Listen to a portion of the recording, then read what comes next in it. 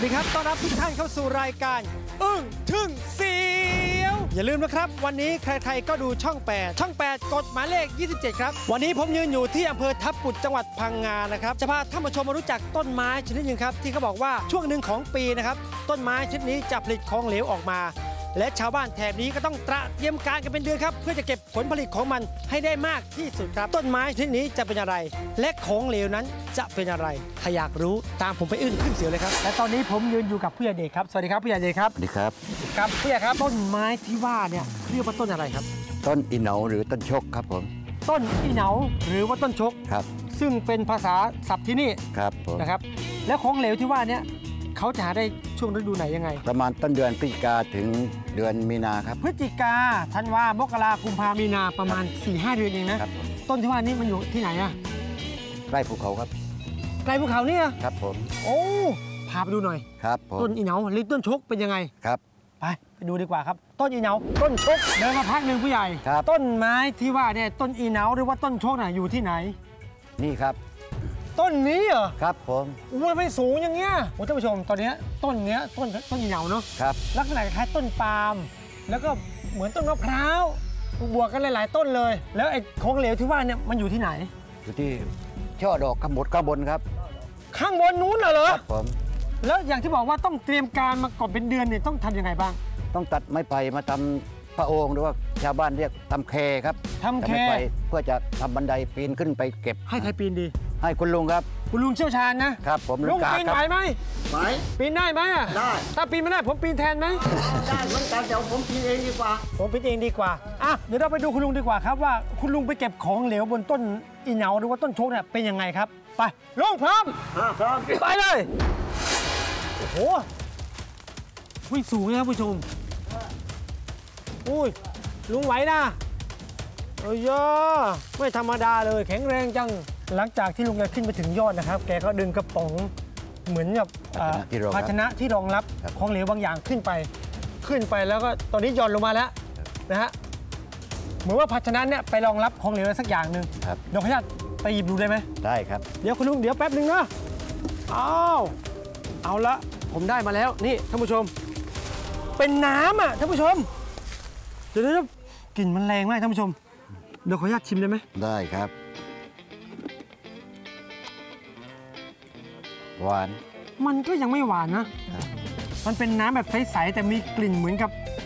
เหมือนน้ำผลไม้อะไรสักอย่าง มันมีกลิ่นเหมือนกลิ่นหมักๆท่านผู้ชม อืมอารมณ์เหมือนคล้ายๆน้ำตาลหมักโอ้วันนี้ได้น้ำมาถือว่าเนี่ยประมาณนี้ท่านผู้ชมเนี่ยเกือบเต็ม หลังจากพบกับต้นชกหรือต้นอีเหนาที่เราตามหาแล้ว ลุงกาก็ทำการปีนขึ้นไปอย่างคล่องแคล่ว จากนั้นไม่นานก็ดึงเชือกเอากระป๋องขึ้นไปด้วยนะครับ เพื่อไปใส่ของเหลวที่ได้จากต้น ลงมาให้พี่สมจิตได้ลองชิมกัน แต่ของเหลวที่ว่านี้มันจะออกมาจากต้นได้ยังไงนั้น เดี๋ยวพี่สมจิตจะอาสาพาคุณผู้ชมขึ้นไปดูเองเลยแหละครับ เอาละครับท่านผู้ชมครับ หลังจากที่เราเห็นของเหลวที่มาจากต้นอีเหนาหรือว่าต้นชกเรียบร้อยครับเป็นน้ำน้ำแล้วมีกลิ่นหอม แล้วมีความหวานนิดๆด้วย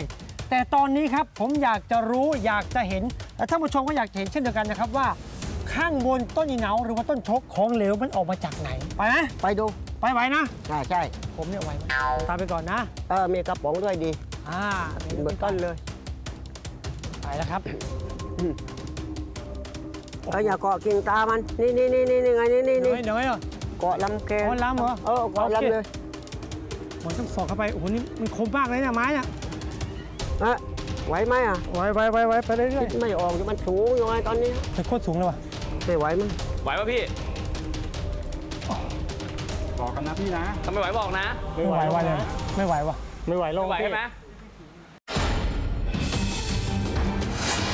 ก็ต้องบอกว่าการปีนขึ้นไปบนต้นอีเหนาเพื่อไปเอาของเหลวจากต้นมันนั้น ไม่ใช่เรื่องง่าย ๆ เลยละครับคุณผู้ชม เพราะจะต้องปีนไม้ไผ่เปล่าขึ้นไป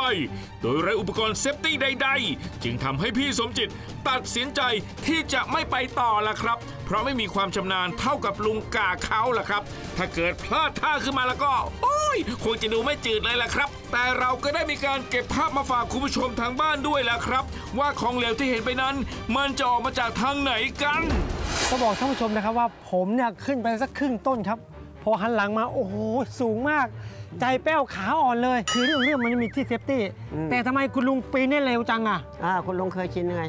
ชำนาญ ชำนาญความเคยชิน ครับ เอาละครับ หลังจากที่ขึ้นไปเราก็ได้น้ำมันมา ได้น้ำมานี่แหละน้ำเนี่ยเป็นน้ำจากจากต้นของต้นอีเหนา อ่าใช่หรือว่า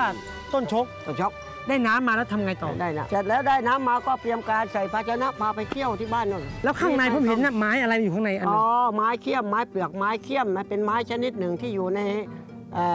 แถวจังหวัดพังงาจังหวัดกระบี่ของเรานี่แหละ เพื่อไปเป็นสารกันบูดมันมีความหวานมีความแล้วก็อาจจะเสียเร็ว เสียเร็ว เราก็เลยใช้สมุนไพรใช้สมุนไพรเป็นสมุนไพรมีความขมไงเราเก็บได้น้ำขนาดเนี้ยวันหนึ่งเราเก็บกี่รอบเอ่อวันหนึ่งสองรอบไงรอบไหนมสองรอบรอบเช้าก็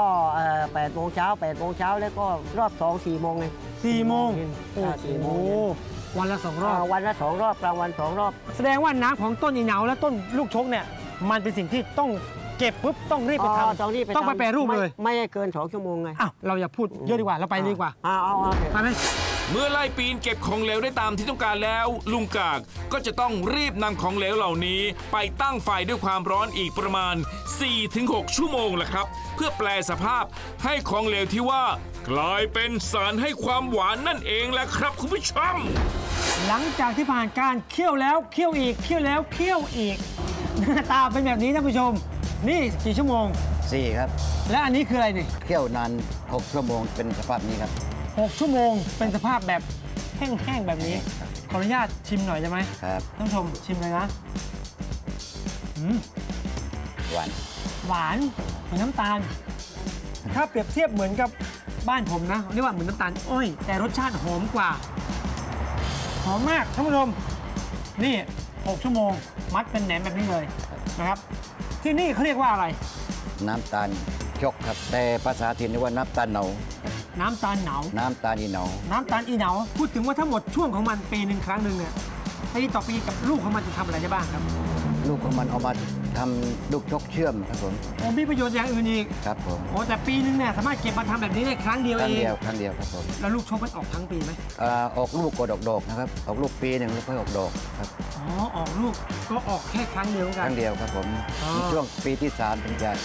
เก็บลูกได้มามาทานได้ครับ สุดยอดนะครับท่านผู้ชมครับ เรื่องราวของต้นยเหนาหรือว่าต้นชนนะครับ ที่เรานำของเหลวของมัน มาทำเป็นสารของความหวานได้อย่างน้ำตาลเลยทีเดียวครับ แต่กว่าจะได้มานั้นไม่ง่ายเลยนะครับ เพราะว่าปีหนึ่งทำได้แค่ครั้งเดียว และที่สำคัญทำแข่งกับเวลาด้วยครับ เพื่อที่จะไม่ให้ของเหลวนั้นเสียเปล่าท่านผู้ชมครับ วันนี้ขอบคุณท่านผู้ใหญ่บ้านแล้วก็คุณลุงมากๆนะครับผมขอบคุณครับลุงขอบคุณครับผู้ใหญ่ครับ และผมขอการันตีว่า ต้นไม้สายหวาน อึ้งทึ่ง